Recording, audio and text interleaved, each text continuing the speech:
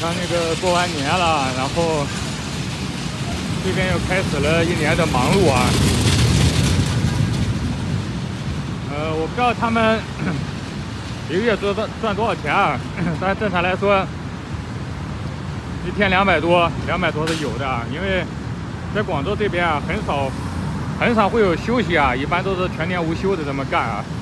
呃，我估计基本一个月七八千、一万是有的啊。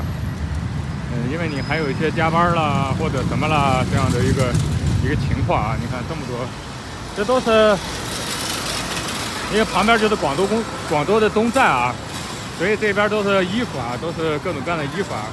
因为现在，呃，对广州来说啊，肯定是过两天可能就是夏天的温度啊，但是在全国来说啊，过两天就是冬装上市的时候啊，因为。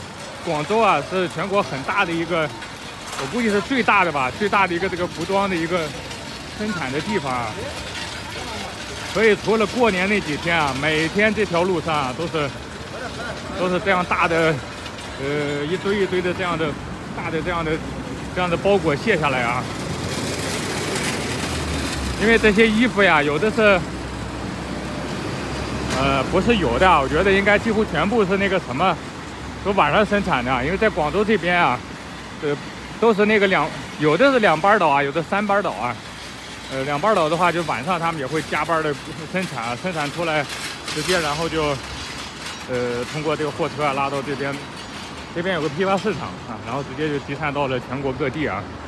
所以在广州这边整个的节奏啊是非常非常快啊，嗯，就像一个巨大的这样的机器一样。啊，在不停的运转，不停的运转，是吧？当然，坐在办公室里的一些小白领啊什么的，可能现在还没有起床啊。离得近的话，因为广州有大量的城中村啦 什么了，是吧？有的可以就近去住啊。呃，以前应该是没有电动的，现在有电了啊。当然，现在还有那种不带动力的车啊，还有啊。所以相对相对来说啊，现在不像以前那么特别的辛苦了。啊，但是毕竟还是体力活，那一大包衣服，其实也也不轻啊。还是那句话，啊，据说啊，据说你你把这个棉花在新疆那边的棉花运输的时候，都是要把那个棉花去去压紧打包的，啊，那可能小小一包就几十公斤啊，不是像我们想象说，嗯，把棉花那么蓬松的去运输啊，那样的话不就赔钱了吗？赔死了是吧？啊，就这样的道理啊。呃，今天我就感觉天气已经热了啊，呃，当然好像有点回南天的那种感觉啊，就是潮湿潮湿的那种感觉。